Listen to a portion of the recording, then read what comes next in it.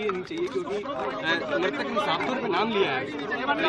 अभी कुछ दिन, कुछ दिनों पहले जो ये आत्महत्या का प्रकरण सामने आया है, ये बड़ा दुख पहुँचाने वाला प्रकरण है और कभी किसी की मौत होती है तो सभी को दुख होता है और जिन परिस्थिति में हुई है, बहुत ही दयनीय और गरीब परिवार है एक शेड्यूल ट्राइब आदिवासी आदिवासी समुदाय से आने वाले परिवार में एक व्यक्ति ने आत्महत्या की है।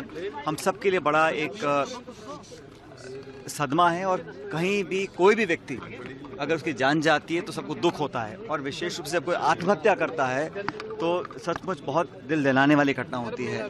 अब मैं भी परिजनों से मिला हूँ, उनके पिताजी से, उनके भाई से, उनके उनके बेटे से और उन्होंने कुछ बातें बोली हैं। मैं तो उतना ही कहूँगा कि उनका दुख बांटने आज हम सब लोग आए थे।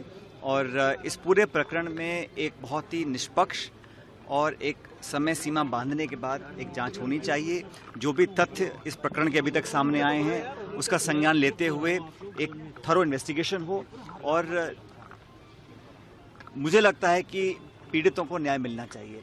न्याय देने के लिए न्यायपालिका है, पुलिस है, प्रशासन है, सरकार है और मैं चाहता हूँ कि ज़िम्मेदारी से इस पूरे प्रकरण का क्योंकि इसमें बहुत सी ऐसी बातें कही गई हैं बहुत से आरोप लगाए गए हैं कुछ स्टेटमेंट्स हैं कुछ लिखित स्टेटमेंट्स हैं कुछ वीडियो स्टेटमेंट्स हैं। उन सब की जाँच होनी चाहिए सच्चाई का पता लगा जाना चाहिए।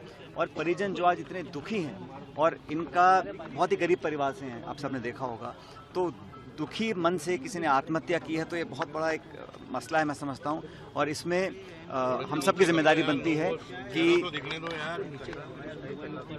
जो भी इसमें आरोपी हैं या नहीं हैं इसकी भी निष्पक्ष जाँच होनी चाहिए और इस परिवार को विश्वास दिलाना हम सबकी ज़िम्मेदारी है कि न्याय मिलेगा।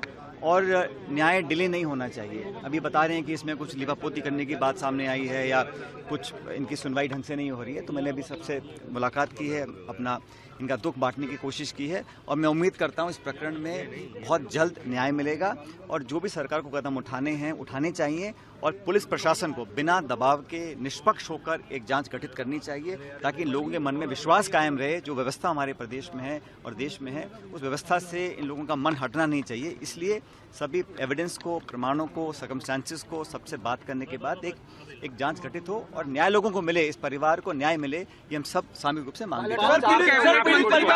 पावरफुल कैबिनेट मंत्री है। कैबिनेट मंत्री का नाम आ रहा है रहा है परिवार पीड़ित पद पे परिवार। रहते हुए जाँच हो पावरफुल कैबिनेट मंत्री का नाम है। तो देखिए हर व्यक्ति की अपनी जिम्मेदारियाँ होती हैं क्या उनको करना नहीं करना।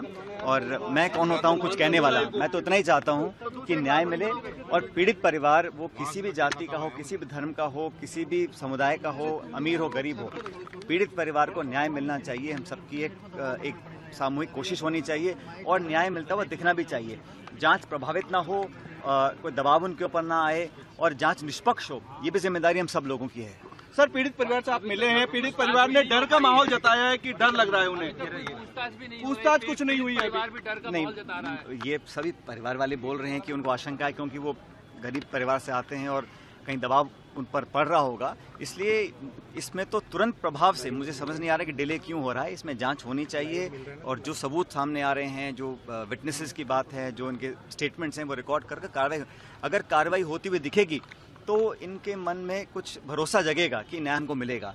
और मैं समझता हूँ कि अ, किसी पर आरोप लगाना बड़ा आसान है। मैं भी किसी के पक्ष विपक्ष नहीं बोल रहा हूँ। लेकिन जिसकी मौत हुई है उसके परिजन जो डिमांड कर रहे हैं उन मांगों को पूरा करना हम सबकी ज़िम्मेदारी है। आप के पार्टी के लोग यहाँ पे आज तक आए नहीं है मिलने के लिए नहीं है सरकार के लोग नहीं आए कांग्रेस नहीं जैसे भी कर्नाटक में एक ठेकेदार ने एक मंत्री का नाम लेकर तो की देखिए क- डिक्लेरेशन को सच माना जाता है? कोर्ट में डाइन डिक्लेरेशन सच माना जाता है मैं जानता हूँ लेकिन इंक्वायरी के बाद ही इस पे सत्य सामने आएगा। किसी व्यक्ति को इस्तीफा देना है नहीं देना उसको रखना है नहीं रखना ये मैं समझता हूँ उस व्यक्ति के ऊपर डिपेंड करता है और मुख्यमंत्री पर डिपेंड करता है। मैं इसमें कुछ कहना नहीं चाहता हूँ क्योंकि हर व्यक्ति का नैतिकता का अलग पैमाने होते हैं। लेकिन न्याय परिवार को मिले